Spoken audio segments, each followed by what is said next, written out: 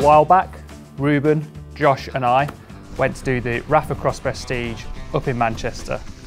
Basically, it's a pretty chilled out cyclocross sportive.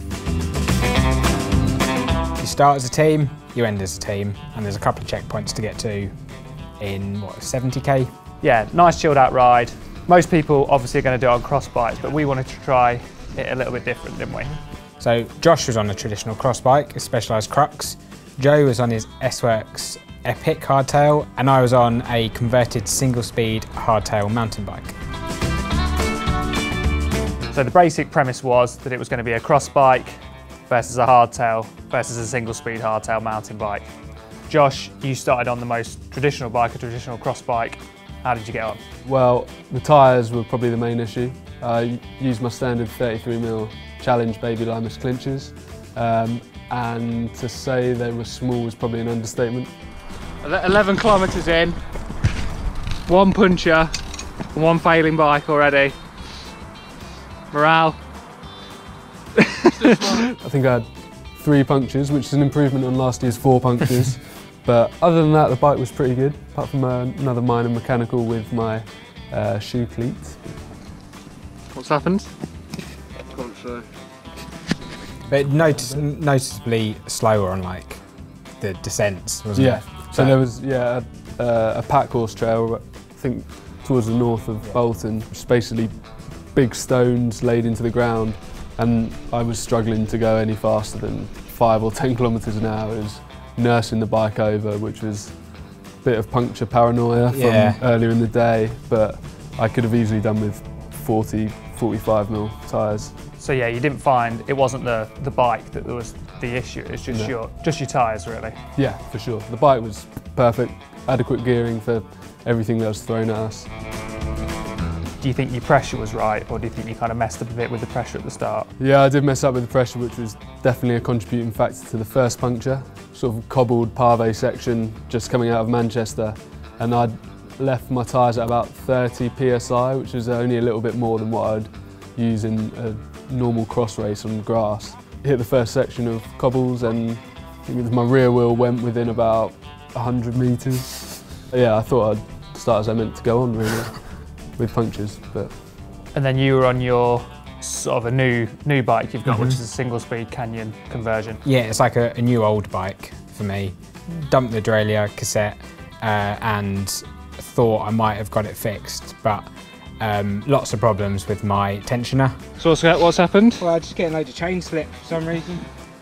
I don't know if it's just the grime and the mud, but yeah, I don't know. We'll bumble along, shall we bumble along for a bit and wait till we get to a hilly bit. Yeah, pretty, pretty frustrating when every couple of K, you know, you, you just jolt forward like that up every little climb and um, So every climb we hit, me and Josh would ride off and you could just hear this in the background, this like kung, kung, kung. fo- fo- followed by some swears.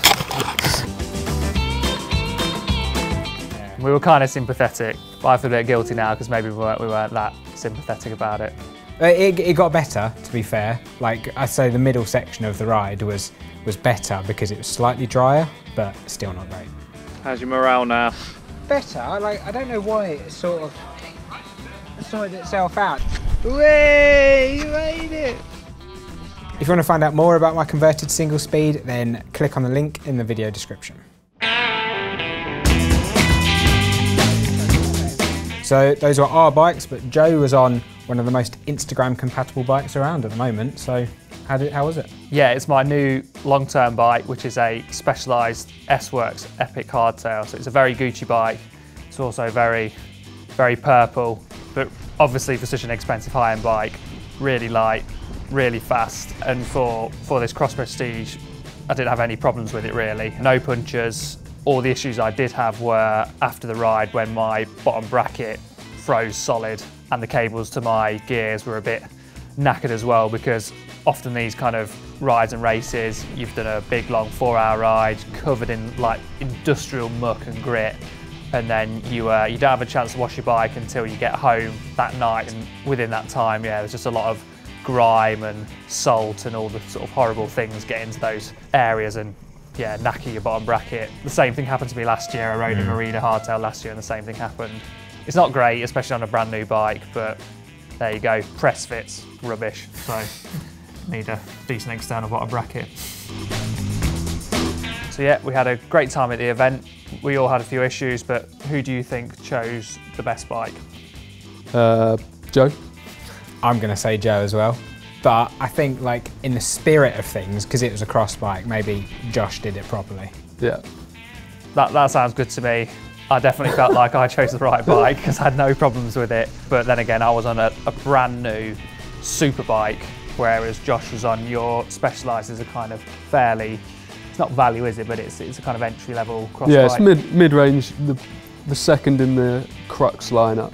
Yeah. Yeah. So it's an aluminium frame, 105 spec. Some of that terrain, I did not envy you riding a rigid fork. I'm very glad uh, I had suspension for the Cross Prestige. Yes, I think it's it's an important thing to mention here, and something we've all done a lot of gravel events, especially Reuben. The more and more we do, the more we find that perhaps a cross bike, especially for the UK, isn't the correct type of bike, really, is it? It's not the correct, but it's definitely not the most efficient, like, or the most comfortable.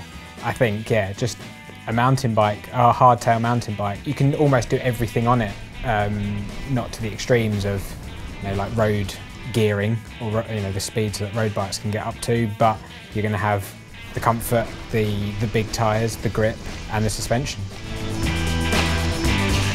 Yeah, because quite often we find, in, again, in these kind of gravel adventure, cycross style, sportive and races, is that the terrain is more demanding than what a cycross bike can really handle, especially at the cross prestige, your your bike on the descent.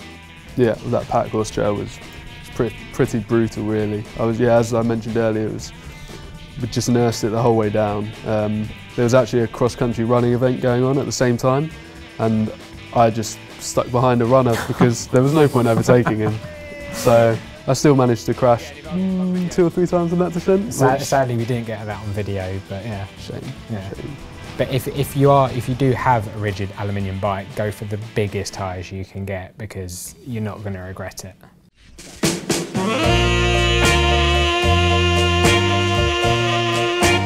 So if we do it next year, which hopefully we will, because we really enjoy doing the Rapha Cross Prestiges, what type of bike will you choose, and will you change, or will you just change your setup a little bit? Um, I'll probably stick with my cross bike uh, and just put bigger tyres on it.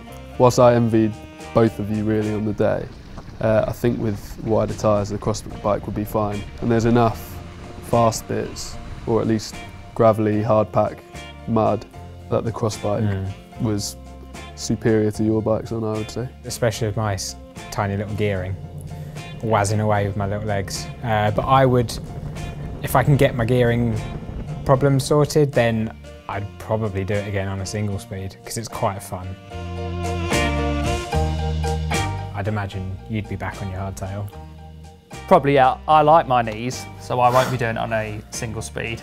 After seeing you grinding up some of the climbs at like probably 30 RPM Yeah, doing yeah. leg presses. Uh, so yeah, I'd, I'd just do it on a hardtail again. If I was spending my own money, it definitely wouldn't be on a really expensive hardtail. I'd be just as happy on a kind of entry-level hardtail, just as long as it had big tyres and gears and suspension. I'd be happy.